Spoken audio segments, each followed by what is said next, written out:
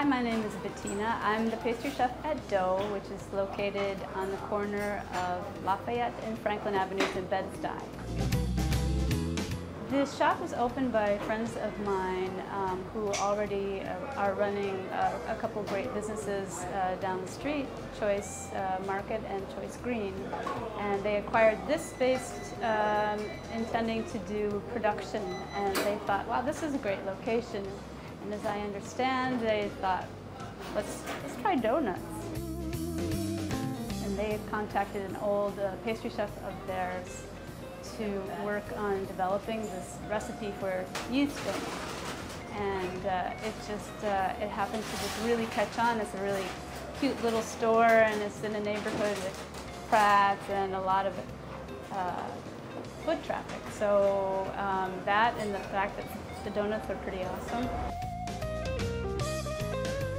Donuts are uh, near and dear to most people in, in this country, and then you know there are, are, versions of it all over the world, and it's just kind of a, a great showcase for, for a lot of interesting flavor combinations.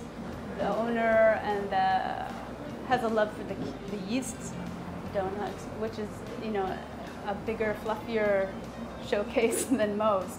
It, it, appeals to everyone. It's inexpensive. I think that's also a big uh, fun thing about a donut. It's, it's a very happy little treat that's, that's very accessible.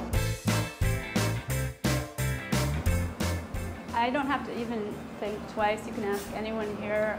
I pretty much every day have a Nutella donut.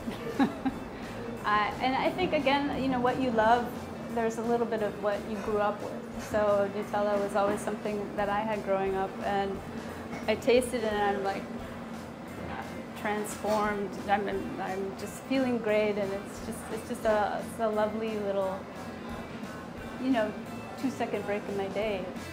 So a lot of people, they really go for the simple, like cinnamon sugar glazed, um, and if it's not that, they want to try something that challenges them a little bit, like a hibiscus on a donut. That's you know that's really that we got to try that. You know, a lot a lot of times they like a little. Um, it's exciting. It's it's like this is quite a you know like the, lemon meringue is, is beautiful.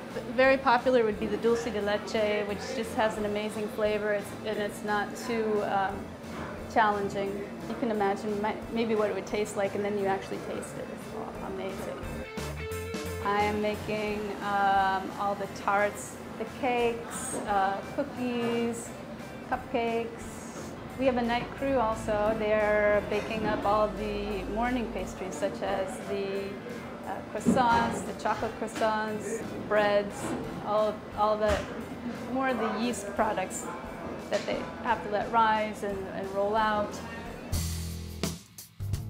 You know, it's really fun that this is transparent. People can see me, I can see them, and I see what they get, and they're very, everyone leaves happy. I can't help, it always makes me so happy to see a filled donut case and how, they like jewels to me. They're just like glistening and beautiful and that's very inspiring.